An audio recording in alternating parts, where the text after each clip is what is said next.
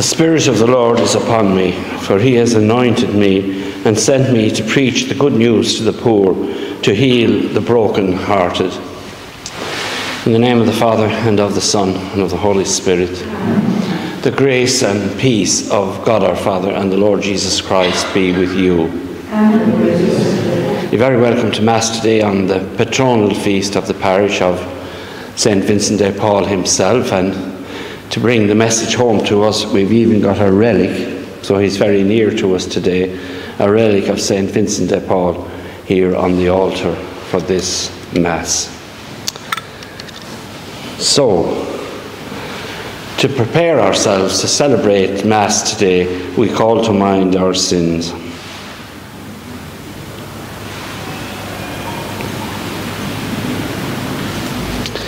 I confess to Almighty God and to you, my brothers and sisters, that I have greatly sinned in my thoughts and in my words, in what I have done and in what I have failed to do, through my fault, through my fault, through my most grievous fault. Therefore I ask Blessed Mary, ever Virgin, all the angels and saints, and you, my brothers and sisters, to pray for me to the Lord our God. May Almighty God have mercy on us, forgive us our sins, and bring us to everlasting life. Amen. Lord, have mercy. Lord, have mercy. Christ, have mercy. Christ, have mercy. Lord, have mercy. Lord, have mercy. Glory to God in the highest, and on earth peace to people of good will. We praise you, we bless you, we adore you, we glorify you. We give you thanks for your great glory.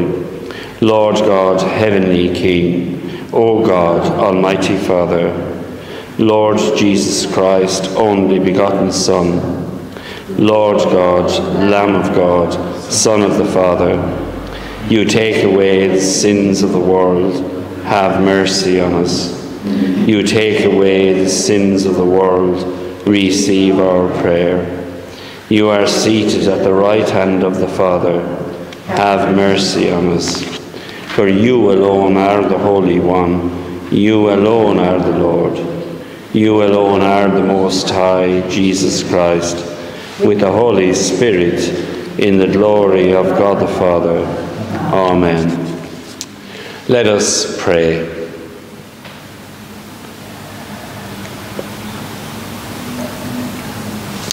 O God, who for the relief of the poor and the formation of the clergy endowed the priest St. Vincent de Paul with apostolic virtues, grant, we pray, that afire with that same spirit we may love what he loved and put into practice what he taught.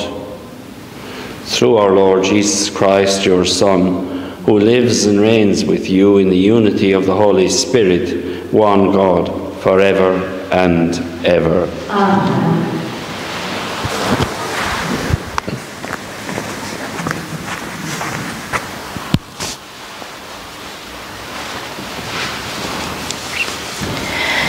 A reading from the first letter of St. Paul to the Corinthians. Take yourselves, brothers, at the time when you were called. How many of you were wise in the ordinary sense of the word? How many were influential people or came from noble families? No, it was to shame the wise that God chose what is foolish by human reckoning, and to shame what is strong, that he chose what is weak by human reckoning. Those whom the world thinks common and contemptible are the ones that God has chosen, those who are nothing at all to show up those who are everything. The human race has nothing to boast about to God, but you, God, has made members of Christ Jesus, and by God's doing, He has become our wisdom and our virtue and our holiness and our freedom. As Scripture says, if anyone wants to boast, let him boast about the Lord. The word of the Lord. Thanks be to God.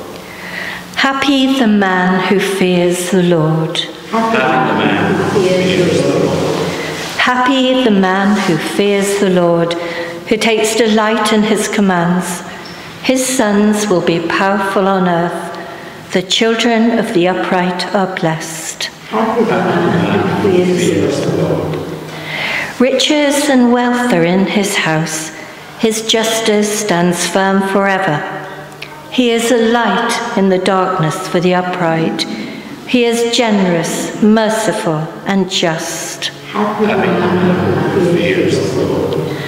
The good man takes pity and lends. He conducts his affairs with honour.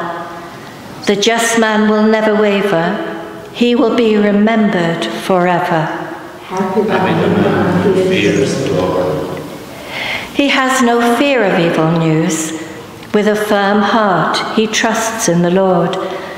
With a steadfast heart, he will not fear. He will see the downfall of his foes. Happy the man who fears the Lord. Open handed, he gives to the poor. His justice stands firm forever. His head will be raised in glory. Happy man who fears the Lord. Alleluia, Alleluia. I am the good shepherd, says the Lord. I know my own sheep, and my own know me. Alleluia.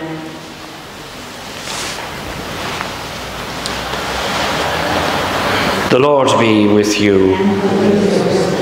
A reading from the Holy Gospel according to Matthew.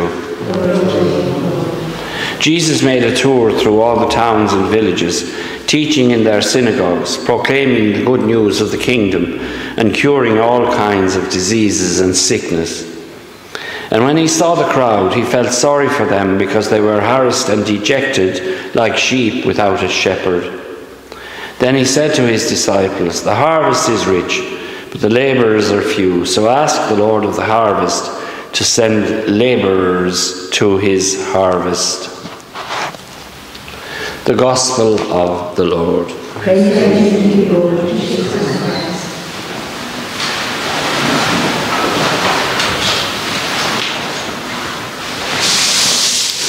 Vincent de Paul was born in 1581 in France. At the exceptionally young age of 19, he was ordained a priest in 1600 and he subsequently attended the University of Toulouse. In 1605, five years after he was ordained, whilst travelling by sea, he was captured by Turkish Mohammedan pirates and taken into slavery. He spent two and a half years as a slave finally escaping in 1607 with the help of his owner, whom he had actually converted to Christianity. Vincent decided to devote his life to charitable work and he was appointed a parish priest of Clichy, which, if you know Par- Paris, it's a suburb of Paris. And after only two years there, he was asked to be chaplain and teacher to the household of the Count of Gondi, since the Count was in charge of ships, Vincent got an opportunity to see the plight of the galley slaves. So he sought to relieve their terrible conditions by offering them not just material assistance, but spiritual assistance as well. Uh, he actually ransomed 1,200 of those slaves from North Africa. Back in Paris, after the leaving of the Gondi family, he established confraternities of men and women working to bring charity to the poor and to care for the vast numbers of sick in the city. His chief source of charitable donations and concerns came from wealthy noble women who provided funds for the creation of hospitals and homes for orphaned and foundling children. That's why St. Vincent over there has a little child in his arms. These became known as the Ladies of Charity. A practical man, Vincent's work went practically unnoticed by the wealthy who chose to ignore the problems of the time and even the poor themselves who didn't appreciate what he was doing for them. But he didn't throw in the towel and go off in a huff. To advance his efforts even further, Vincent founded in Paris in 1625 the Congregation of the Missions called the Lazarites because it was founded at Saint Lazare in Paris, or the Vincentians. You know them better as the Vincentians, but they had different names. And they were a society of priests with the express task of missionary labour and the training of the clergy. He was zealous in conducting retreats for clergy at a time when there was great laxity, abuse, and ignorance among them. St. Vincent's Sheffield, the parish you're in now, was the first English foundation. They came here from Ireland in 1853. In 1633, with the remarkable St. Louise de Marillac, he also established the Daughters or Sisters of Charity, the first congregation of women caring for the sick and poor outside the confines of the convent. He said that their convent is the sick room, their chapel is the parish church, their cloister is the streets of the city. Vincent also organised relief efforts for the many unfortunate victims injured and wounded in wars which France was involved in around the middle of the 17th century. Vincent was a bitter opponent of the heresy called Jansenism, which was rampant in France at the time. Jansenism had the idea that the body was bad and that the soul was good and that the soul was sort of imprisoned in the body. Whereas we know now that not just your soul, but your body is also sacred. And Vincent de Paul was streets or years ahead of his time, centuries ahead of his time, when he really did look after people's bodies as well as their souls. Jansenism was Calvinistic in tone. And as you know, the Calvinists were, went to Scotland, and when they went over to Ireland, uh, it's kind of Calvinism which was partly responsible for all those years of turbulence in Northern Ireland because they regarded themselves as an elite group, the Calvinists, and they were the only ones who were going to be saved. So it kind of infiltrated even political life. But St. Vincent de Paul was bitterly opposed to it. Vincent died in Paris on the 27th of September, today's feast, of course, 1660, at the age of 80, and he was canonized a saint by Pope Clement XIII in 1737. Most remarkably, Vincent was by temperament a very short tempered person. Even his friends admitted it. He said, and this is his conversion really. He said that except for the grace of God, he would have been hard and repulsive, rough and cross. But he became a tender and very affectionate man, very sensitive to the needs of others. Pope Leo XIII made him the patron of all charitable societies Outstanding, of course, among these are, of course, the Society of St. Vincent de Paul, which we have here, founded in 1833 by his admirer, Blessed Frederick Ozanam. St. Vincent de Paul.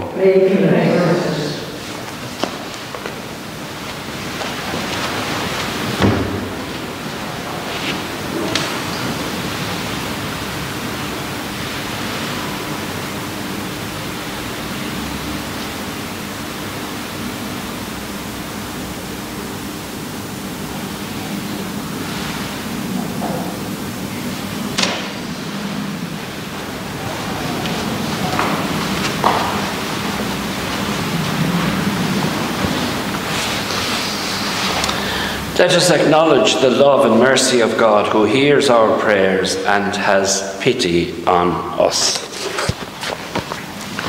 God sent his Son into the world to preach the good news to the poor. Let us pray that the Church may always be faithful in following Christ in this task.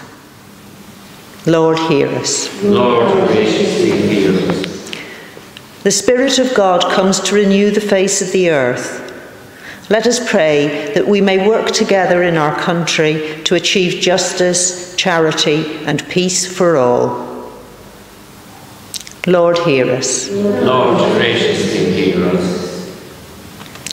St. Vincent de Paul worked for the training of holy priests in the Church. Let us pray for all priests, deacons, and seminarians that they be faithful to their vocation and care for the poor entrusted to them. Lord, hear us. Lord, graciously hear us. Our Lord said, As you did it to one of the least of these, my brethren, you did it to me. Let us pray for those who serve the poor, the sick, and the needy in our parish, remembering especially the Society of St. Vincent de Paul and those who support it. Lord, hear us. Lord, graciously hear us. Are not the poor the suffering members of our Lord? said St. Vincent. They have been given to us as our masters and patrons. Let us pray for the compassionate hearts to seek out the poor and needy to comfort them with devoted care and give them the help they need. Lord, hear us. Lord, graciously hear us.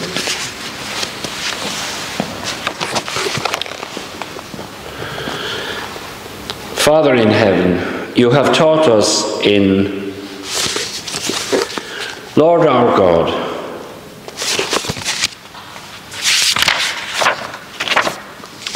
Lord, you endowed St. Vincent de Paul with a wonderful gift of mercy. May we follow his example and experience your mercy in our lives through Christ our Lord. Amen.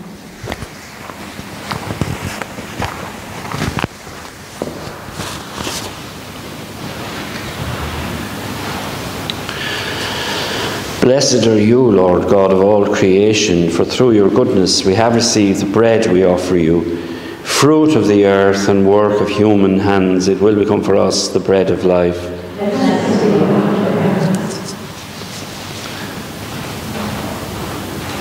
By the mystery of this water and wine, may we come to share in the divinity of Christ, who humbled himself to share in our humanity.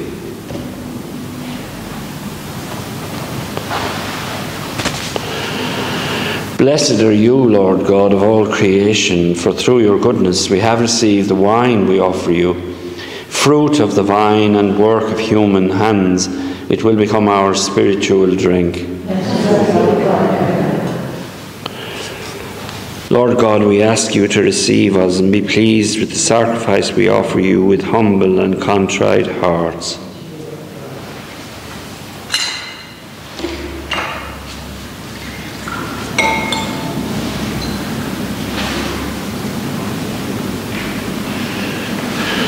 Pray, brothers and sisters, that my sacrifice and yours may be acceptable to God, the Almighty Father. O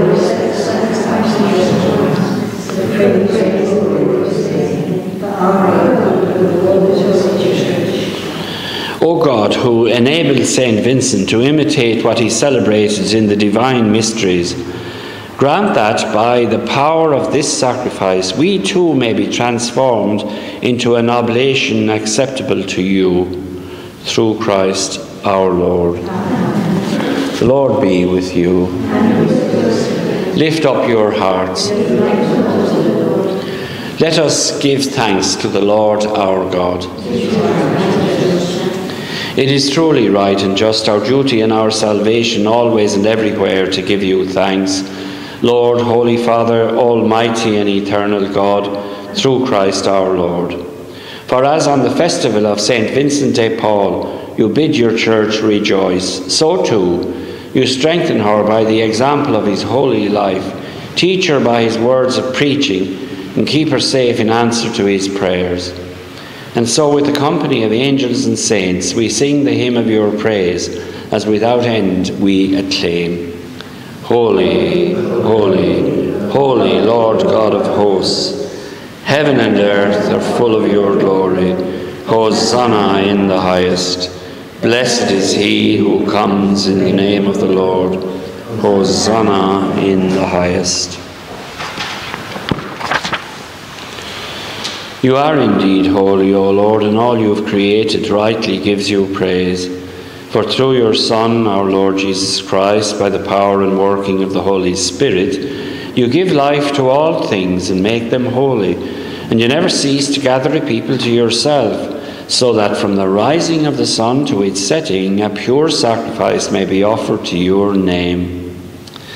Therefore, O Lord, we humbly implore you by the same Spirit Graciously make holy these gifts we've brought to you for consecration, that they may become the body and blood of your Son, our Lord Jesus Christ. Command we celebrate these mysteries. For on the night he was betrayed, he himself took bread, and giving you thanks, he said the blessing, broke the bread, and gave it to his disciples, saying, Take this, all of you, and eat of it, for this is my body, which will be given up for you.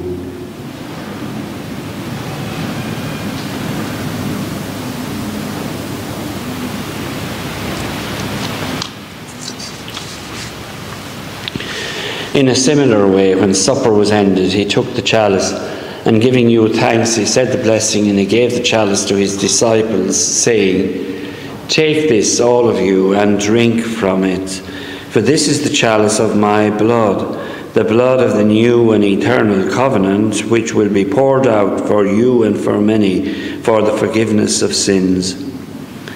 Do this in memory of me.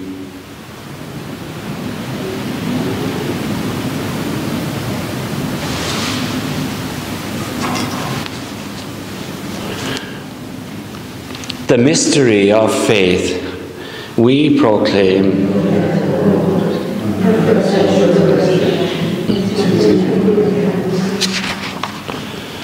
Therefore, O Lord, as we celebrate the memorial of the saving passion of your Son, his wondrous resurrection and ascension into heaven, and as we look forward to his second coming, we offer you in thanksgiving this holy and living sacrifice.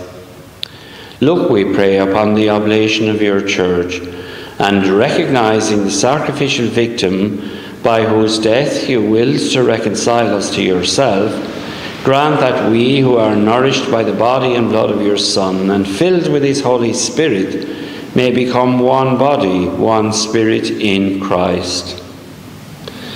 May he make of us an eternal offering to you, so that we may obtain an inheritance with your elect especially with the most blessed Virgin Mary, Mother of God, with blessed Joseph, her spouse, with your blessed apostles and glorious martyrs, with Saint Vincent de Paul, and with all the saints on whose constant intercession in your presence we rely for unfailing help.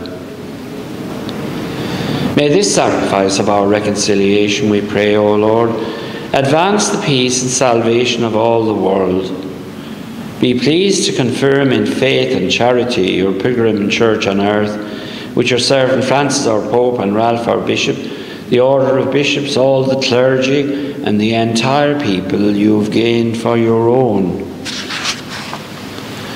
Listen graciously to the prayers of this family whom you have summoned before you. In your compassion, O merciful Father, gather to yourself all your children scattered throughout the world to our departed brothers and sisters, to all who are pleasing to you at their passing from this life, give kind admittance to your kingdom. There we hope to enjoy forever the fullness of your glory, through Christ our Lord, through whom you bestow on the world all that is good.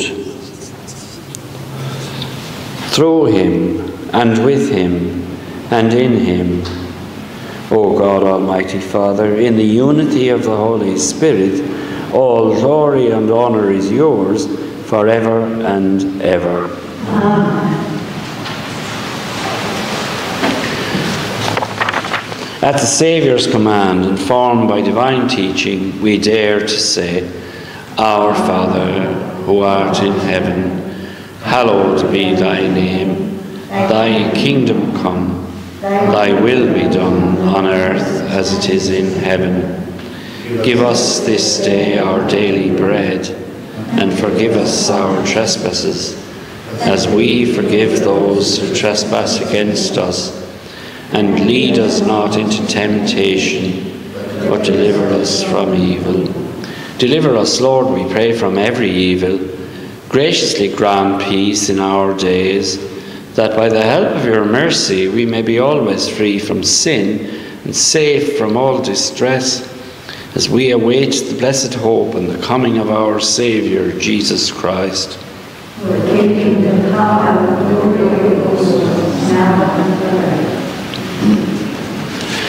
Lord Jesus Christ, who said to your apostles, Peace I leave you, my peace I give you. Look not on our sins, but on the faith of your church, and graciously grant her peace and unity in accordance with your will, who live and reign forever and ever. Amen. The peace of the Lord be with you always.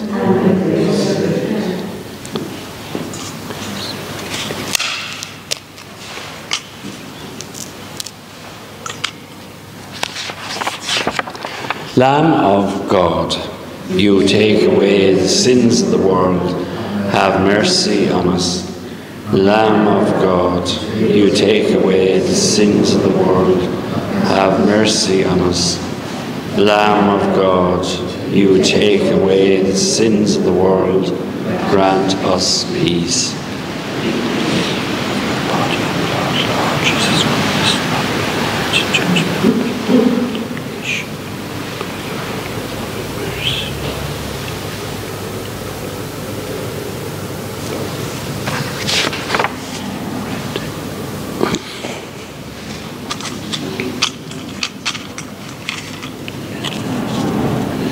Behold the Lamb of God. Behold him who takes away the sins of the world.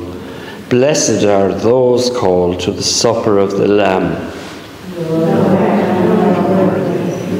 You should enter under my roof, but only say the word, and my soul shall be healed.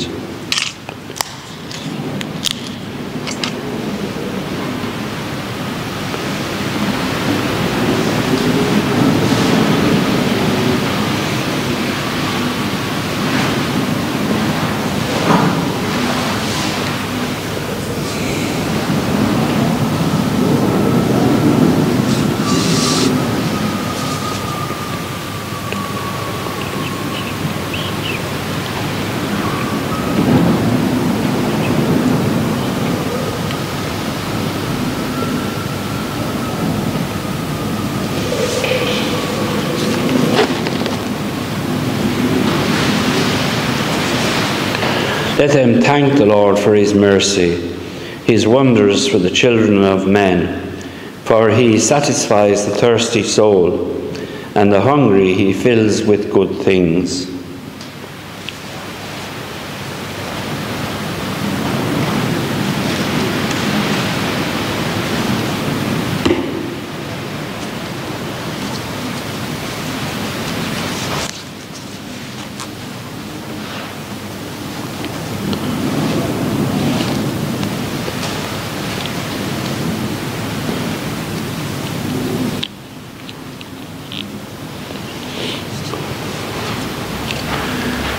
Body of Christ.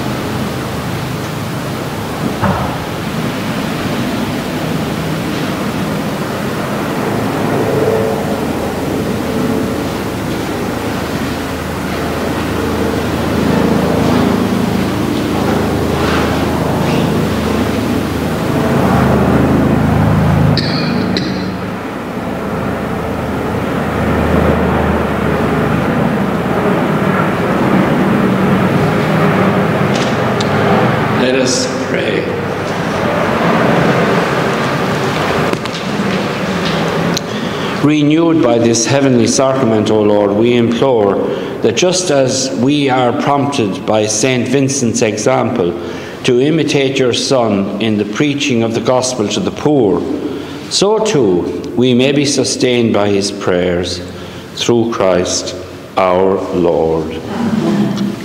The Lord be with you. Amen after each of these. May God, the glory and joy of the saints, who has caused you to be strengthened by means of their outstanding prayers, bless you with unending blessings. Amen. Freed from their intercession from present ills, and formed by the example of their holy way of life, may you be ever devoted to serving God and your neighbour. Amen so that together with all you may possess the joys of the homeland where Holy Church rejoices that our children are admitted in perpetual peace to the company of the citizens of heaven. Amen. And may the blessing of Almighty God, the Father, the Son, and the Holy Spirit come down upon you all and remain with you always. Amen. Go now in the peace of Christ. Thank you all for listening, and God bless you all.